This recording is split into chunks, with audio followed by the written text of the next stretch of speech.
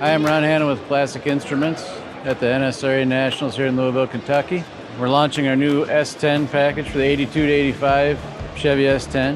You can see some of the features here. We've got a replacement for the warning light panel. It's all electronic. There's a injection molded housing, single connector, our hybrid lighting so you can see it really well in the dark, really well at night. Very stock look and we also offered in our Velocity white style.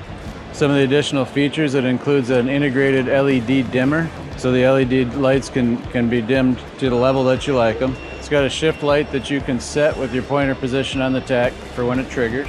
It has a programmable fuel gauge, so there's a selector switch on the back.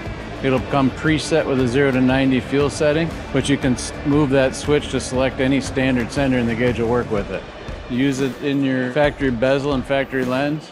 We even integrated the trip meter reset button to be the setup button to do all calibration and, and setup for the cluster.